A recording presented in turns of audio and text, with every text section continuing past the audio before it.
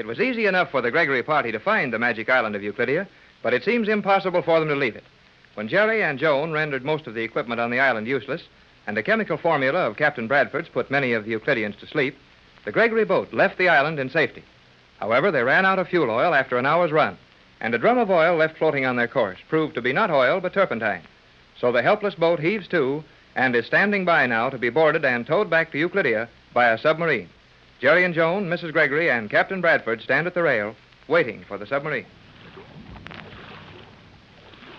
But I tell you, that woman submarine commander's a good friend of ours. Yeah, but don't be too sure of that, Jerry. She's coming out to capture us, isn't she? That is something she cannot refuse to do, Captain Bradford. Her safety and any value she might have as a friend lie in the fact that the Euclideans do not suspect her. I think that's reasonable enough, Tex. Well, I'm not so sure, Pat. Well, we haven't any choice. We're going to be towed back to G47 and his mad colony, and I, for one, have no interest in the person who takes us back. Oh, you mustn't feel so hopeless, Mrs. Gregory. Why, that girl let the gas in the chemical laboratory put her to sleep just so she could help us before. Maybe she'll find some way to help us again. You are right, Jerry. Commander S1 will aid us again if the opportunity presents itself. Yeah, but I've got a notion that after the way we handled him, old G47 is going to make it his business to see that no such opportunity gets a chance to present itself. I wonder how close the sub was when she called us on the radio. Would there be any way of knowing that, Tex? No, and it wouldn't do any good if we did know. Thinking about getting a last minute message to Johnson, weren't you, Jerry? Yeah, I thought we might as well try it. That would be of no help, Jerry. Johnson is too far away to come to our assistance now. Yeah, not only that, but the batteries are so weak the set probably won't work more than a few miles. Johnson might be trying to call us, though. Don't you think one of us should stay in the cabin with the radio? Well, I'll go in if you want me to, sir. And I will go with you, Jerry. Okay, Joan, come on. Hold it a minute. Yeah? You and I'll stay here by this landing stage, kid. Let Joan and her mother go in the cabin and listen to the set.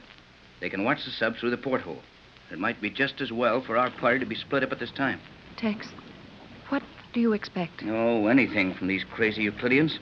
But it's just possible Jerry and I might see something to be done. I think that is well, Mother. We will go. You must be diplomatic, Jerry, and do nothing to irritate the commander. You'll be careful, won't you, Tex? Why, sure, honey. Don't worry. Go with Joan. Hey, what do you think we can do when the submarine gets ready to board us? Nothing, son. Not a thing. But I'm not sure what kind of treatment to expect from the crew of this submarine. And if anything not so good happens, just as well to have Joan and Pat out of the way. Now, look, Tex. I know that girl's on our side, and there's no use worrying about it. She runs that boat all alone with a one man crew, and he'll have to stay with the boat. So she'll come aboard here alone, and she won't do anything to hurt us. You mean she did run the boat alone when you and Joan rode in the submarine with her? But G47 and his scientists will be plenty sore now. There may be a half a dozen up on that boat. Oh, what could they do to us? Hmm. They could decide that it was just a waste of time to tow this boat back to the Magic Island. You mean they'd sink the boat? Yeah, and they'd forget to take us off of it before they sunk it. Gee whiz. What's your formula, Tex? They can't do anything to you until they get the formula. I'm not entirely sure they haven't got it. Oh, they couldn't have it. We know Johnson got the message off the pigeons we sent, and that's. Hey, the boat's rocking a whole lot more. Yes, I think your girlfriend and her submarine are playing around under us here somewhere now.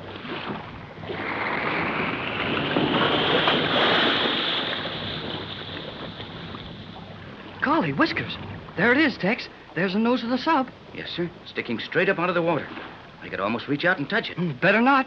They'll be throwing open the port and the nose of it in a minute, and that thing's plenty heavy. Look how it stands there, Jerry. Steady as a rock. Hmm. Those Euclideans certainly know their stabilization principles. I think I heard a noise inside the nose of that thing. They must be ready to open it.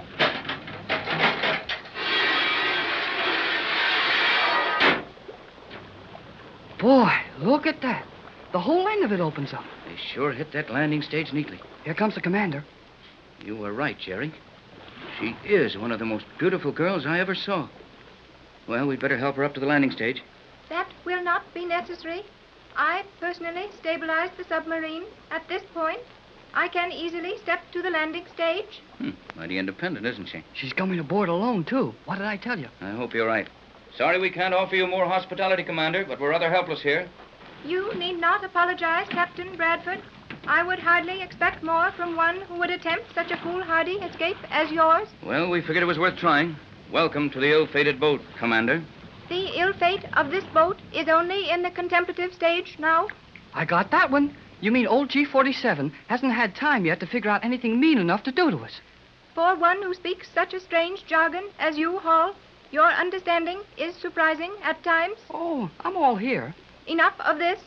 You understand what must happen, Captain? I'm afraid I do. You are to tow us to the island, and again we will be prisoners. Exactly. But there is more. This time, you will not be allowed the freedom you previously enjoyed. You will be prisoners, in fact. You mean we'll be put in those confinement cells? Precisely. Well, it will surprise me pleasantly if that's the worst that happens to us. That will be only the beginning. Where are Mrs. Gregory and Cleostra? Well, Mrs. Gregory and Joan are in the radio cabin. Will you take me to them at once?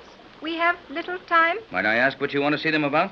I wish to explain to them that they will accompany me in the submarine, and I wish to explain to them privately. You're going to take Pat and Joan with you in the sub? And the captain and I stay here while you drag this boat in by the anchor?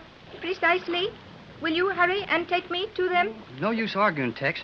She'd use that ray gun in a minute. And if anything happened to her, well, old SC-1 out there in the sub would finish us. I was thinking of something else. Take the commander to the radio cabin, Jerry. I'll give orders to Mac and the skipper. Okay, if you say so. This way, Commander. Watch your step on this deck. We got a couple of piles of canvas around here. Hurry, Hall. I will need no guide. Well, I guess you're never too old to learn. Skipper, McLeod, Aye, Captain. come here a minute, will you? I've just been waiting for a chance to come over and ask you if it's real or not. That sub? it's real enough, all right. Aye, and it just stands there with its nose out of the water while the girl captain looks out of a boat over there. This is a mad business, Captain Bradford. That's mild, Mac. But here's the orders for the next step. All right, Captain. Now, we're to be towed back to Euclidia by that sub. They'll submerge and level it off. Then pick up our bow anchor with a magnetic fin in the stern of that thing. All we can do is to stand by and wait for results. Uh, and when we get to the island, what then? And that's what we can only guess at. But I wanted to warn you that once we're on the island, do just as you're told Aye, and say nothing. aye, I understand all that right. Well, that's all, Mac. Relay that to Skipper, will you? Aye, aye, sir. I will that. And if you don't understand it any better than I do, we both know nothing. Well, I can't say I blame you much. Oh, uh, hello, Commander. Leaving us so soon? I will return immediately to my command. The ladies are going to accompany me. It may afford me an opportunity to give them a bit of advice. Please see that they join me as quickly as possible.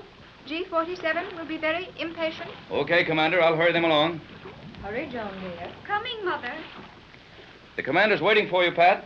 I know it. But there were one or two little things I had to do before leaving. I am all ready now, Mother. Is Jerry not here yet? I thought the kid was with you. The commander sent him to your cabin for something. He will explain after we're gone. Oh, Tex, I. I'm so afraid of all this. Well, keep your chin up, Pat. We'll be seeing you on the island in a couple of hours. Yes, Mother. There is nothing to worry about. And we must hurry. The commander is motioning us to come aboard the submarine. Come then, Joan, dear. We'll have to make the best of it. And goodbye, Tex. Remember, Pat, chin up. Good luck. Thank you, Captain.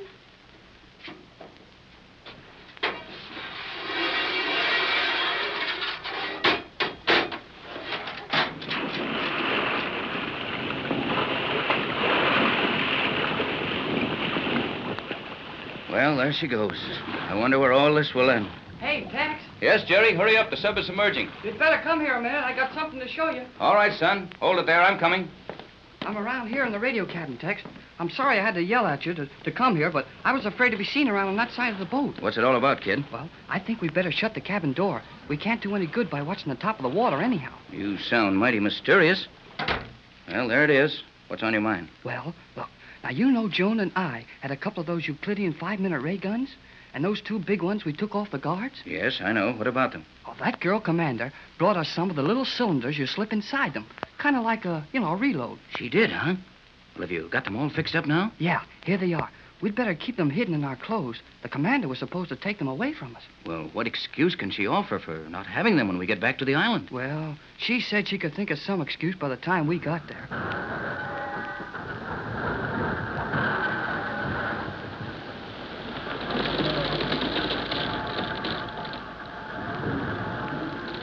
Like the submarine must be hooked onto our bow anchor. Yeah, the boat's beginning to roll a little.